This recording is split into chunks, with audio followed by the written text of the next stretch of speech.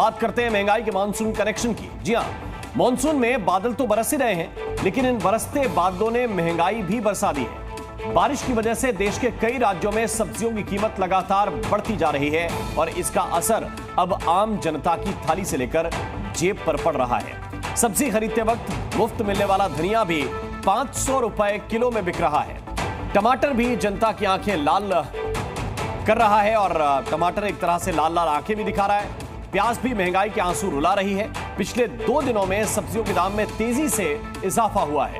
लोगों में इस बात की भी चिंता बढ़ जाती है कि सब्ज़ियाँ नहीं खाएँगे तो शरीर में ज़रूरी पोषक तत्वों की कमी हो जाएगी, लेकिन सब्ज़ियाँ जेब पर भारी पड़ रही हैं, थाली महँगी होती जा रही है।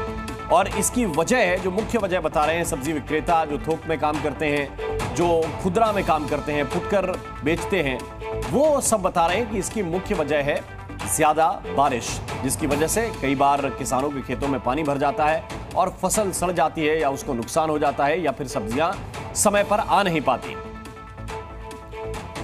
तो महँगाई की मार है और महँगाई की मार की वजह हमने आपको बताया।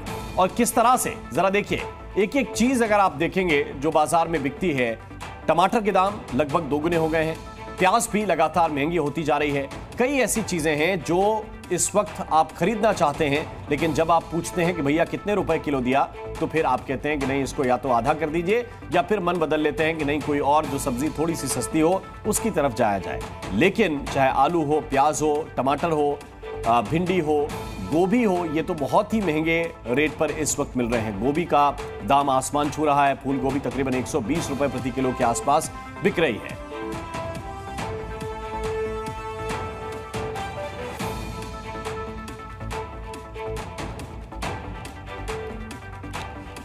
और आइए अब हम आपको बताते हैं कि आपके शहर में किस तरह के हालात हैं, कितनी महँगाई बढ़ी है, उर्वशी खोना इस वक्त हमारे साथ मंडी हाउस से लाइव हैं। वरुण भसीन इस वक्त हमारे साथ मयूर विहार से लाइव हैं। प्रशांत झा इस वक्त पटना से हमारे साथ जुड़ रहे हैं और अश्विन पांडे इस वक्त हमारे साथ मुंबई से जुड़े हुए हैं। पहले मैं चलता हूँ पटना, हमारे साथ इस वक्त प्रशांत है वहाँ से।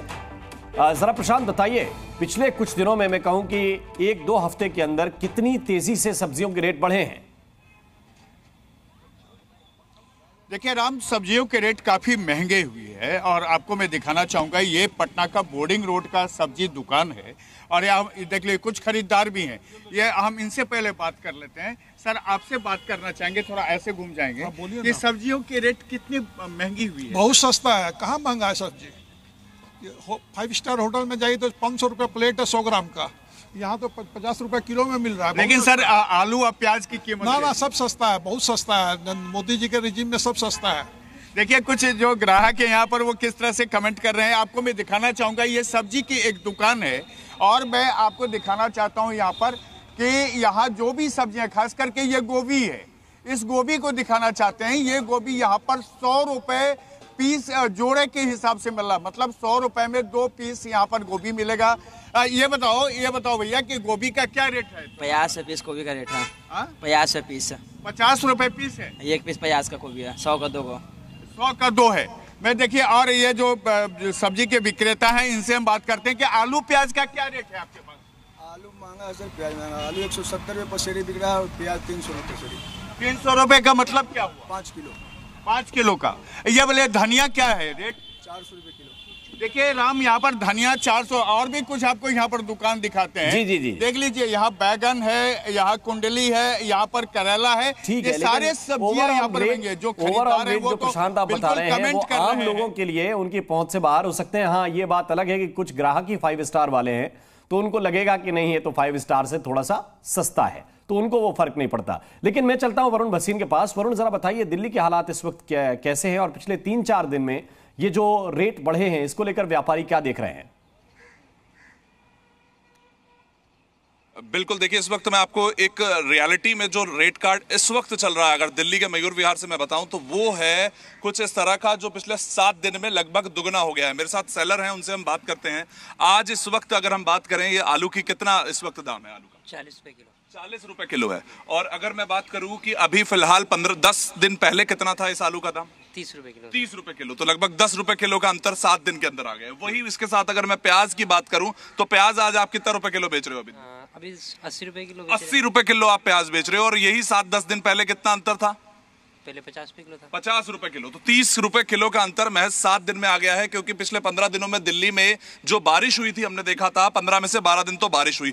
मानसून की मार कह लीजिए ट्रांसपोर्टेशन के में समस्या कह लीजिए, लेकिन इस वक्त जो आम आदमी की रसोई पर जो ज़ोर पड़ रहा है, वो बहुत ज़्यादा हो रहा है। एक किलो ले जाने वाला अब साढ़े सात सौ ग्राम हो रहा है। इसी के साथ चलिए छोटी छोटी चीज़ें। आलू, प्याज हुआ। मिर्ची में कितना अंतर आया? मिर्ची अभी कितने की है? अभी वही डेढ़ सौ दो सौ रुपये आ रहा है और अभी पिछले दस दिन पहले कितनी थी? पचास साठ रुपये किलो आ रहा था। दुगनी हो गई अदरक? अदरक वही सत्रह सॉरी एक सौ बीस रुपये पाव।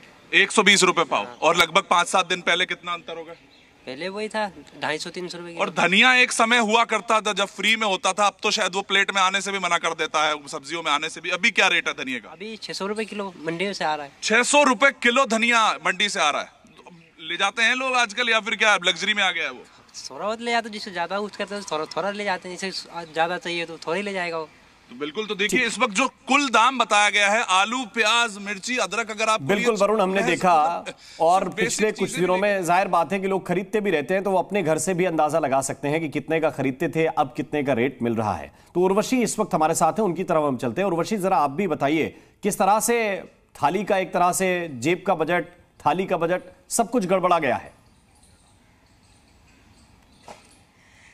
आ, बिल्कुल बजट तो गड़बड़ा गया है और पिछले कुछ दिनों से जो बारिश हुई है उससे आ, जो पैदावार है वो प्रभावित हुए हैं जिसके चलते आ, मार्केट्स में आ, जो आवक है सब्जियों की वो कम हो गई है। सबसे पहले मैं घर के एक होम मिनिस्टर से बात करूँगी सीधा कि उनके ऊपर किस तरह से एक प्रभाव पड़ा है। पिछले कुछ दिनों से सब्जियों के रेट जो है बढ़ गए हैं। आपके पास अभी कुछ चेंज दिखाई दे रहे हैं पर आए मुझे ये लगता नहीं कि आपने एक्सपेक्ट किया था कि इतना खर्च हो जाएगा और सौ के ऊपर सारी सब्ज़ियाँ हैं। बिल्कुल मैम बट ठीक है बजट तो बाहर जा ही रहा है लेकिन करना पड़ता है। क्या खरीदा आपने और क्या आपको ऐसा लगा कि बहुत ज़्यादा ये मैंने नारियल लिए हैं जो कम से कम मैक्सिमम आ जाते हैं तीस रुपए के अभी इस टाइम पचास रुपए का एक है। देखिए पचास रुपए के हैं और थैंक यू सो मच पर आपको क्या लगता है महँगाई को लेकर क्या बात? मैम इसी तरीके से चलेगा तो बहुत ज़्यादा मुसीबतें आने वाली हैं। बजट सारा डगमगा जाएगा फैमिली बहुत परेशान हो जाएगी डिस्टर्ब हो जाएगी इस चीज़ को लेके। ज़रूर सी बात है कि डिस्टर्ब तो होगी इसलिए महँगाई डायन खाए जाते हैं ऐसा वाला सिचुएशन यहाँ पे लग रहा है। पर मैं आपको बता दूँ राम कि जिस तरह से यहाँ पे और भी जो दूसरे शॉप यहाँ पे लोग आए हैं लेने के लिए, उनसे बात करते है। आप यंगस्टर्स है फ्यूचर है देश के, पर आप अभी फ़िलहाल महँगाई को किस तरह से देख रहे हैं? आपने क्या खरीदा और कितना ज़्यादा महँगा था ये? हमें लगा नहीं था इतना महँगा, क्योंकि हम नए हैं दिल्ली यहाँ पे, और हम दिल्ली यूनिवर्सिटी के लेडी यूनियन में हैं, लेकिन हमें पता नहीं था कि इतने रेट हाई हो गए वो तो हमारा कोई एक हमारा टैलेंट शो था तो उसके लिए हम लोगों ने खरीदने की तो पैसे कम पड़े और अब ऊपर से ऐसे देने पड़ रहे हैं ऐसी स्थिति हो गई। जी बिल्कुल।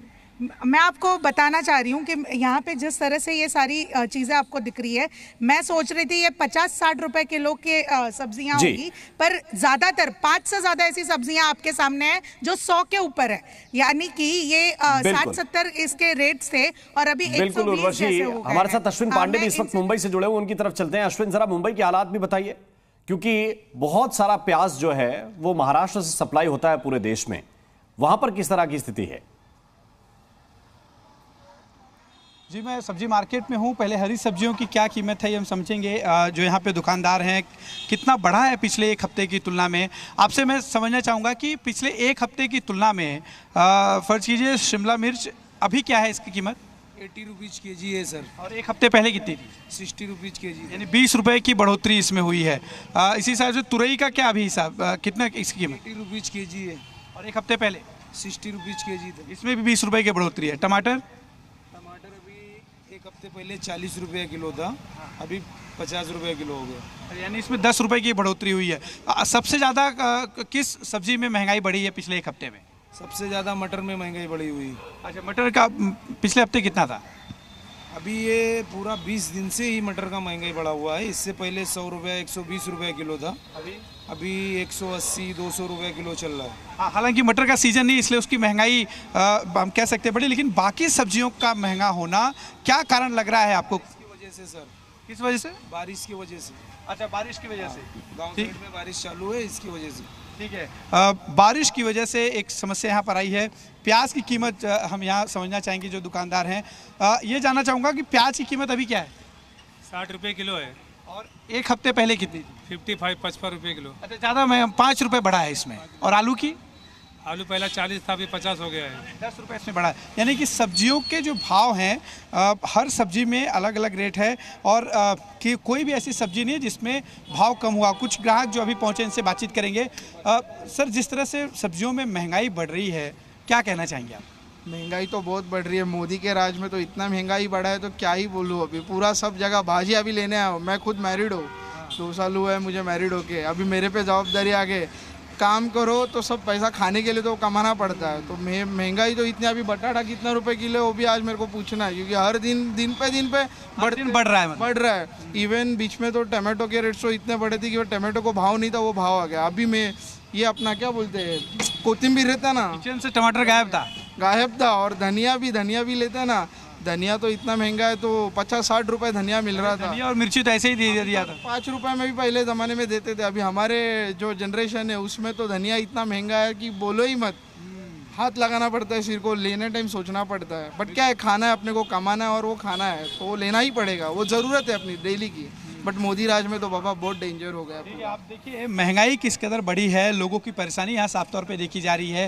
ये तो एक कस्टमर है जो हमसे बातचीत हुई बता रहे हैं। ऐसे अनगिनत लोग हैं जिसकी यही समस्या है स्वाभाविक है जो आम आदमी है जिसको उनके बार बार सोचना पड़ता है किस चीज़ के लिए कितना बजट है महीने का।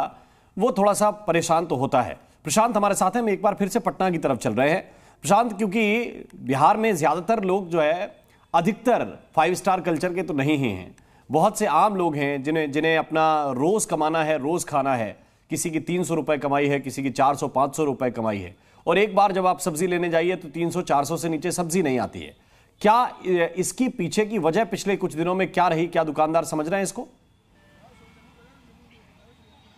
देखिए राम, हम सीधे दुकानदार से ही बात करवाते हैं आपको, ताकि ये पता चल जाए कि आम आदमी जब थाली में सब्ज़ी के नाम पर हरी सब्ज़ियाँ तलाशता है और वो जब उसको नहीं मिलती है तो क्या परेशान? देखिए, एक ग्राहक भी यहाँ पर। ये हम इनसे पहले बात करते हैं। ये बताइए, जो महँगाई हुई है, इसके पीछे क्या कारण? जो सब्जियों की महँगाई हुई है, धनिया चार सौ रुपये किलो हो गया है, गोभी पचास रुपए में मिल रहा है। ये महँगाई आलू चालीस रुपए मिल रहा है, प्याज साठ रुपए मिल रहा है। महँगाई तो अभी मौसम का मार्क हो रहा है, इसलिए थोड़ा हरा सब्ज़ी मतलब महँगा हो गया, बहुत ज़्यादा। धनिया पत्ती गल जाता है पानी से। इसकी वजह से महँगाई। इसके वजह से महँगाई है। हम ये अ, सामने हमारे साथ देखिए ये दुकानदार भी हैं हम इनसे बात करते हैं। आप बताइए जो पंद्रह दिन पहले या पाँच दिन पहले जो रेट था उस रेट में जो तब्दीलियाँ हुई हैं महँगाई बढ़ी है क्या कारण है इसके कारण से जो जो लोकल सब्ज़ी अपना बिहार का है आज भी वो महँगा नहीं है।